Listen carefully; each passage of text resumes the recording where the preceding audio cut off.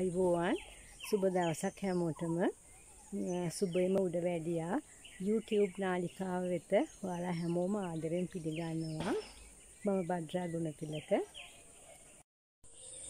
මේ දවස්වල ගොඩක් අයට තියෙන ප්‍රශ්නයක් තමයි යන්තූරෙන් වවන්න අවශ්‍ය කරන අමුද්‍රව්‍ය ගොඩක් මිල ඉහළ ගිහින් කියන එක.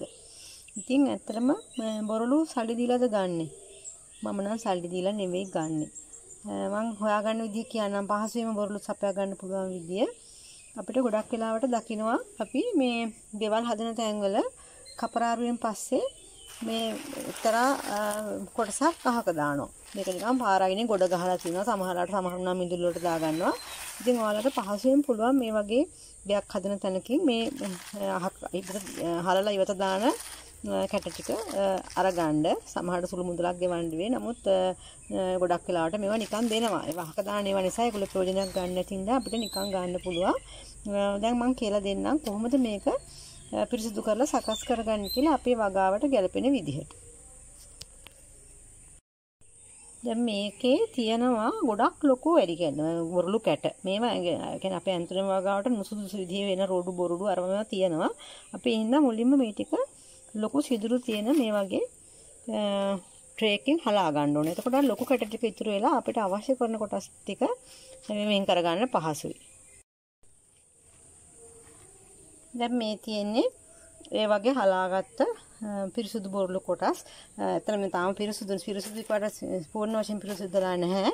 නමුත් අර ලොකු ගල් කැට අයින් කරලා මේ ලොකු කැට අයින් වෙලා තියෙන්නේ. අපිට අවශ්‍ය ප්‍රමාණය ගන්තුරෙන් පැලවට සුදුසු විදිහේ සයිස් එකේ බොරළු දැන් වෙන් කරගෙන තියෙන්නේ. දැන් එතකොට මේ තියෙන්නේ අපි අර ට්‍රේ එකෙන් හලලා ලොකු ගල් කැටි ඉවත් කරලා වෙන් කරගත්ත බොරළු කොටස. දැන් මේක ඇත්තටම පිරිසුදු නැහැ. මේකේ රොන් මඩ එතකොට ගොඩක් සියුම් වැලි එහෙම තියෙන්න පුළුවන්. ඒවා අපේ පැලවලට සුදුසු නැති නිසා අපි ඒවා ඔක්කොම සෝදලා හරි ගස්ස ගන්න ඕනේ. අපි ඒකට දැන් අපිට පුළුවන් මේ වගේ පෙනේරයක් අරගෙන ඒ පෙනේරෙට මේ බොරළු දාලා පිරිසිදු වතුරෙන් හොදා ගන්න. ඉතින් මේ වගේ හොඳට හොදනකොට අර හොන් මඩ ටිකයි මේ දූවිලි කොටස් ඔක්කොම අර යට වතුරට යනවා. එතකොට අපිට මේ සල්ලෙඩ ඉතුරු වෙන්නේ අපිට ප්‍රයෝජනට ගන්න පුළුවන් පිරිසිදු බොරළු.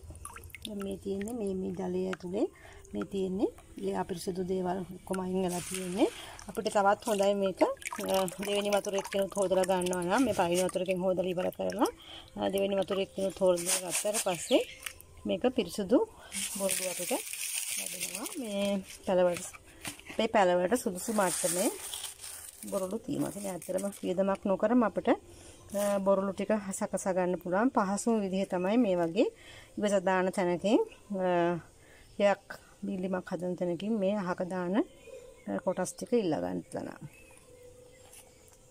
ඔයාලා මගේ මේ වීඩියෝස් බලලා යමක් ඉගෙන ගත්තනම් ඔයාලගේ යාළුවන්ටත් බලන්න ෂෙයා කරන්න. ඒ වගේම මගේ channel එක subscribe කරන්නත් අමතක කරන්න එපා. ස්තුතියි